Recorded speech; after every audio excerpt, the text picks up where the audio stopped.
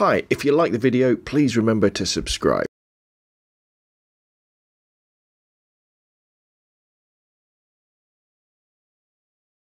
Hi, I'm Rob from robnunnphoto.com and uh, it's a real foggy day here in uh, Elson in Gosport on uh, in the UK on the south coast of uh, the United Kingdom.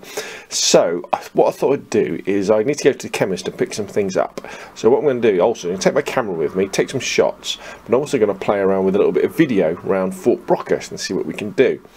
Um, I've had the 600D uh, since Christmas, the, or if you prefer to call it the T3i digital uh, rebel if you're uh, in other parts of the world. And um, I'm pretty much getting on okay with the still side of things.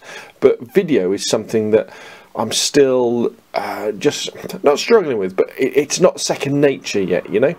Um, I can struggle with the command dial and and just doing it as well. Every time I go to do video I keep putting the camera to my eye.